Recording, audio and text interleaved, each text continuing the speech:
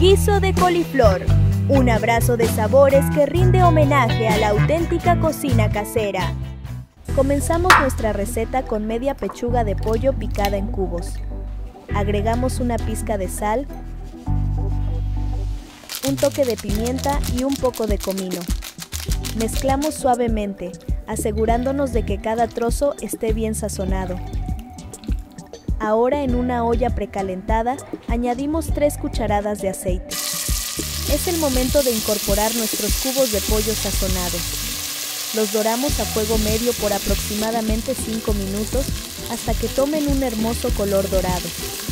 Con mucho cuidado les damos la vuelta para dorar el otro lado, continuando por 5 minutos más.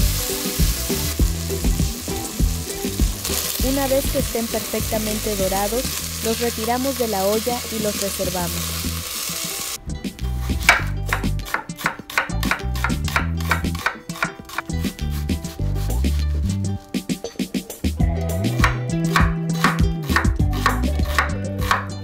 Ahora vamos a incorporar una cebolla roja picada en cuadritos bien pequeños.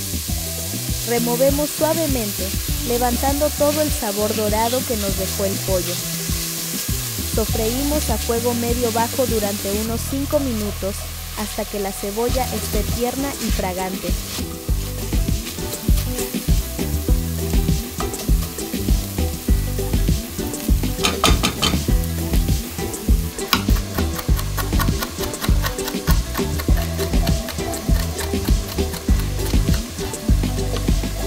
Incorporamos un diente de ajo grande molido y lo sofreímos durante un minuto dejando que su aroma se mezcle con la cebolla y los sabores del pollo.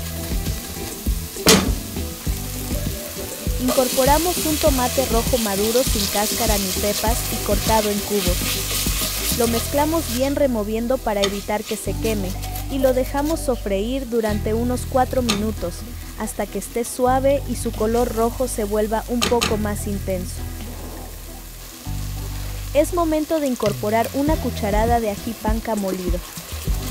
Removemos constantemente para evitar que se queme el aderezo y lo sofreímos durante unos 3 minutos aproximadamente.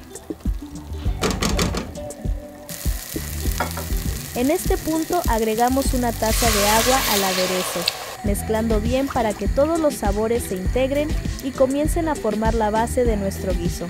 Ahora es el momento de volver a incorporar nuestro pollo que doramos al inicio.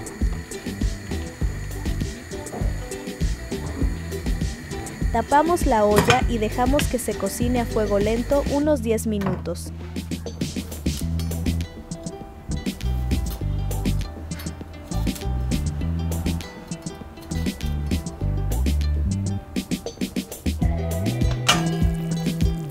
Ahora agregamos dos zanahorias grandes picadas en cubos y 200 gramos de arvejas frescas.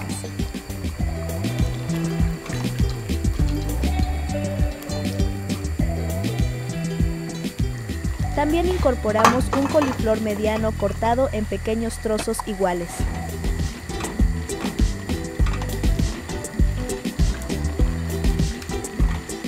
Removemos suavemente con cuidado Tapamos la olla y dejamos cocinar por 3 minutos.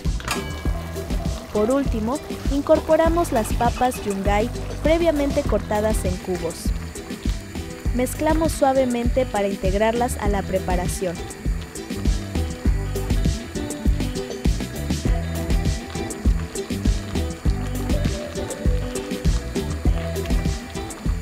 Tapamos la olla y cocinamos durante 10 minutos adicionales o hasta que las papas estén tiernas.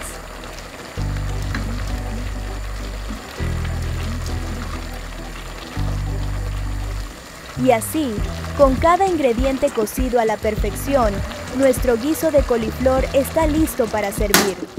Un plato lleno de sabor, tradición y el toque reconfortante de la cocina casera.